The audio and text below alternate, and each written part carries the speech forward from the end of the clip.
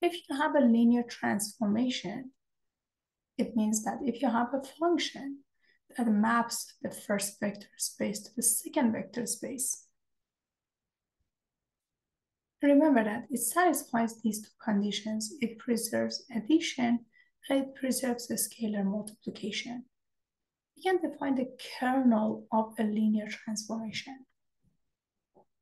For a linear transformation like T, the set of all vectors in V such that TV is equal to zero is called the kernel of T and is denoted by kernel of T. So kernel of T is a subset of V. Later on, we're going to see that it is a subspace as well. So kernel of T takes vectors from V such that TV is equal to zero. The kernel of the zero transformation consists of all vectors V. Why is that? Because the zero transformation takes everything and map them to zero vector. That's the definition of zero transformation. The zero transformation by definition is TV. The output is always zero. So since the output is always zero, no matter which vector you take from V, the output is fixed and the output is zero. So the kernel of the zero transformation equals to every single vector from the domain. The kernel of the identity transformation consists of one element, which is the zero vector itself. So this transformation takes any vector and map it to itself.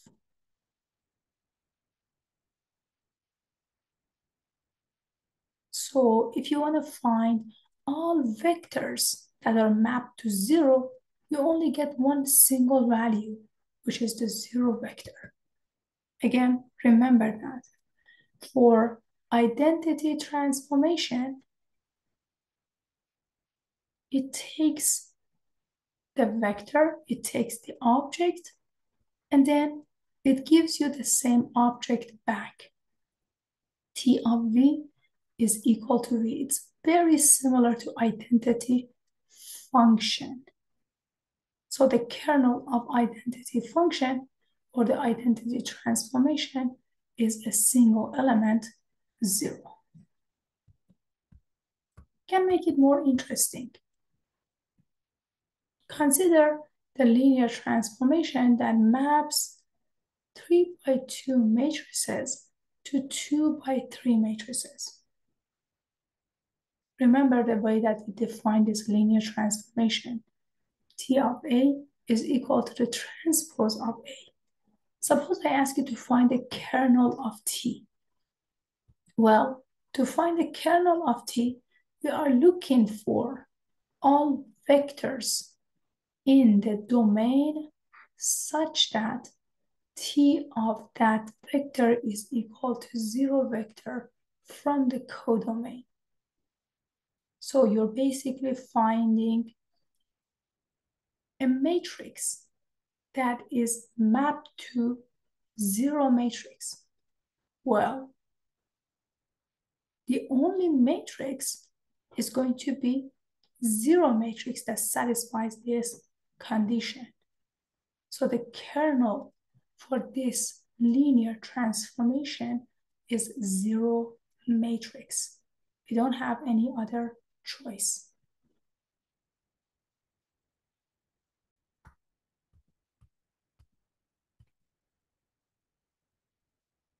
In this question, I ask you to find the kernel of the projection T that maps the space to space itself.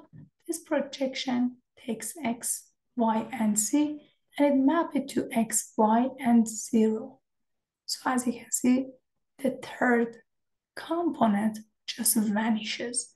It becomes zero. Remember the definition of kernel. The kernel of T is the set of all values, vectors in the domain such that TV becomes zero. So let us begin.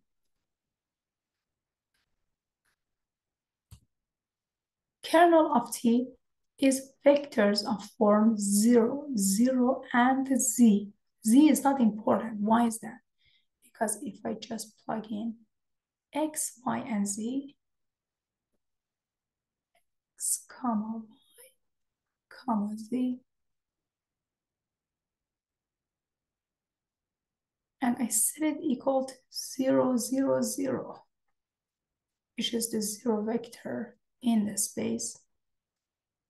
By definition, t of x, y, and z is nothing but x, y, and 0. So this function takes a vector and it gives us x, y, and 0. So if I set this equal to 0, 0, 0, x and y must be equal to 0, but z is already 0. It doesn't matter whatever that z is. It mapped to 0 as well. So the kernel of t is all vectors in the form of 0, 0, and z, such that z is a real number. So you basically, the kernel of t is z-axis. So if someone asks you to describe the kernel of T, you're going to say that, hey, kernel of T is just z-axis itself. Every entry, x and y on z-axis are equal to zero, and then z, it might be zero, non-zero, square root, a half, a third, any fraction.